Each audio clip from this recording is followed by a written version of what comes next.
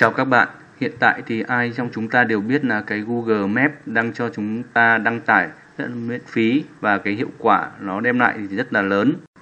Việc xác minh để lập một cái tên doanh nghiệp trên Google Maps rất là nhanh nhưng sau khi xác minh thì quyền truy cập của bạn sẽ bị tạm ngưng vì tài khoản nghi ngờ không đúng. Hôm nay tôi sẽ hướng dẫn mọi người cách tạo một cái tên doanh nghiệp trên Google Maps và xác minh sau đó không bị khóa tài khoản. Trước tiên, trên giao diện của Google, bạn hãy gõ chữ Google Maps và truy cập vào cái đường link Google Maps. Trên giao diện của Google Maps, hãy bấm vào cái hình ba dấu gạch ở bên tay trái tab trên. Sau đó vào chọn thêm doanh nghiệp của bạn. Bạn hãy điền đúng cái tên địa chỉ đăng ký kinh doanh hoặc tên logo trên biển hiệu công ty tránh lấy những từ khóa như dịch vụ.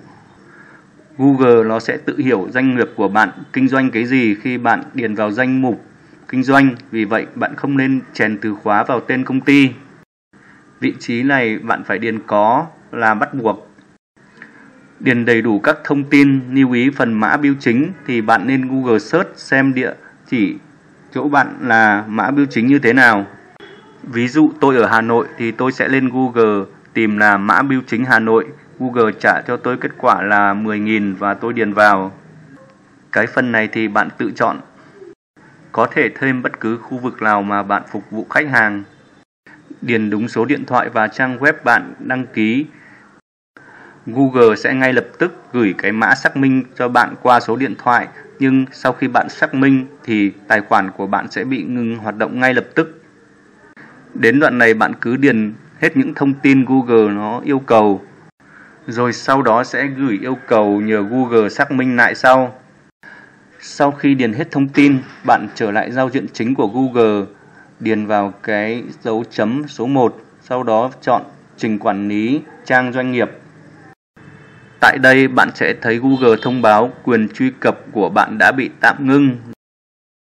Bấm vào dòng chữ, chỉ người quản lý hồ sơ này mới thấy thông tin. Hãy điền yêu cầu của bạn vào những dòng được khoanh đỏ.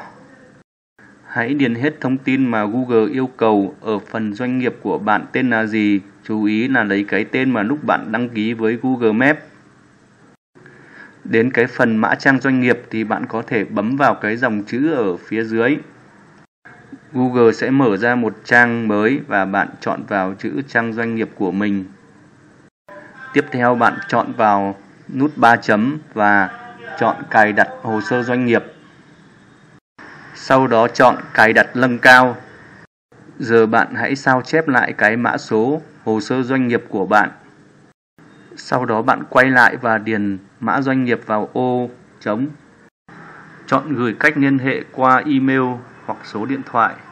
Tại đây, bạn nêu rõ yêu cầu cần bộ phận kỹ thuật trợ giúp bạn vấn đề gì lưu ý chuẩn bị trước những hình ảnh chụp mặt tiền cửa hàng, hồ sơ đăng ký kinh doanh và mẫu hóa đơn hóa trị gia tăng nếu bên Google họ yêu cầu. Cuối cùng là bạn chỉ cần bấm nút gửi đi và đợi Google xác nhận lại và gửi mail cho bạn. Chúc các bạn thành công.